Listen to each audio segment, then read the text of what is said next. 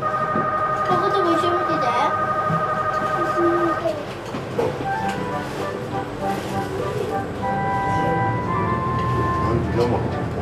皆さんこんにちは。北区アンバサダー PR バイスです。今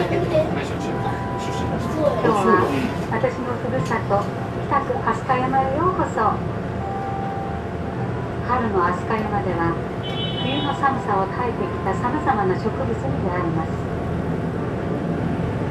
区の花であるツツジや区の木である桜はもちろんヘビイチゴや水木カルジオンといった多くの植物が4月から夏にかけて飛鳥山に息吹を届けてくれます。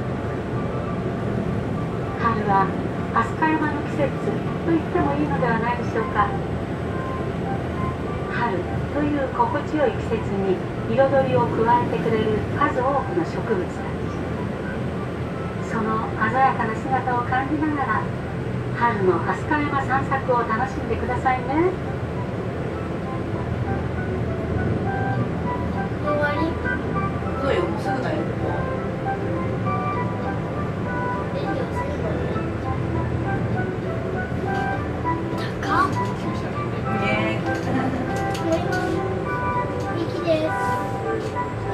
Thank you.